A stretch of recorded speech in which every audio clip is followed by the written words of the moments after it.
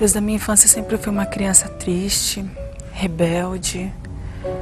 Quando eu fiquei sabendo ainda que minha mãe ela tinha feito de tudo para poder me abortar, só que eu fiquei sabendo isso de terceiros.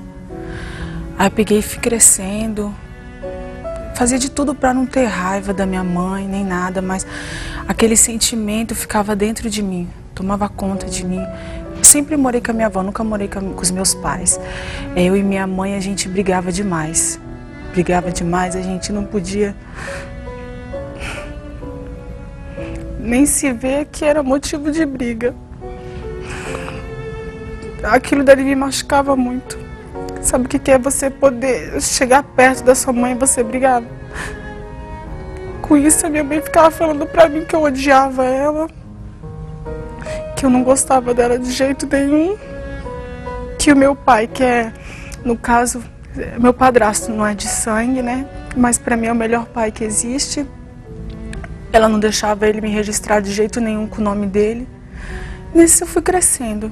Fui crescendo, respondia, não queria saber de nada. Sempre tive uma resposta na ponta da língua.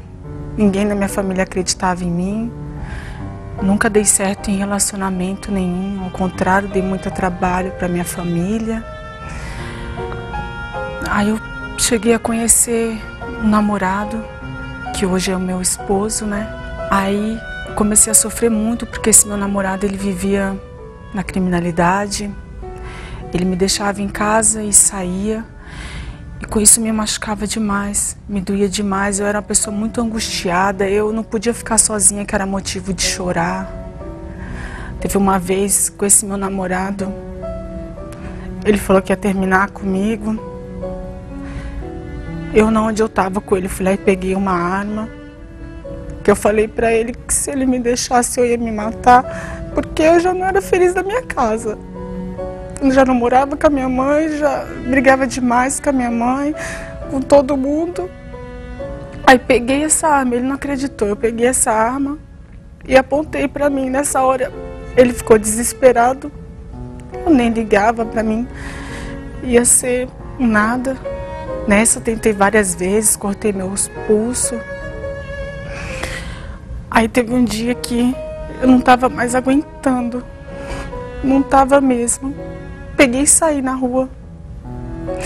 Falando, eu não tenho mais nada mesmo. Eu nunca dei orgulho para minha família. O que, que importa na minha vida? Foi quando eu cheguei na Igreja Universal. Quando uma pessoa pegou e me chamou. E ali ela perguntou da minha vida. Mas eu falei, o que, que pode mudar a minha vida? Se eu tentei fazer tantas coisas e até hoje não mudou.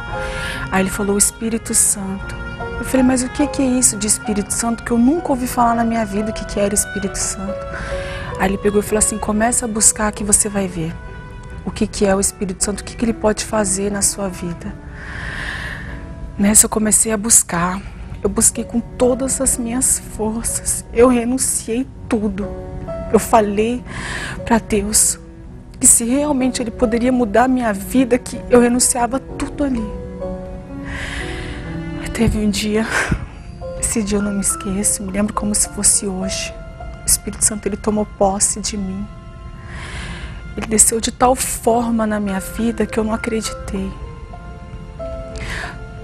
Eu comecei a ter paz, comecei a ter alegria, depois que eu recebi esse Espírito Santo, eu cheguei em casa, aí eu fui falar com a minha mãe. A mãe estava deitada. Eu abracei a minha mãe, que aquilo que eu estava sentindo era tão maravilhoso. O Espírito Santo ele começou a me moldar. Ele começou a me ensinar, ele começou a me dirigir aonde eu tinha que ir, o que, que eu tinha que fazer. Ele começou a me moldar por inteiro. Ali eu vi a transformação da minha vida. Hoje, graças ao Espírito Santo, hoje eu sou casada. Meu esposo, ele não vai mais para favela, ele não vai mais para lugar nenhum. A gente hoje é um casamento recente, mas um casamento assim totalmente diferente do que um dia eu pensei ser. Através da minha perseverança, minha avó também ela foi curada. Aí hoje eu e minha avó somos amigas também. Graças ao Espírito Santo. Não poderia ter sido outra coisa. Foi Ele que transformou a minha vida, é Ele que tem transformado a cada dia.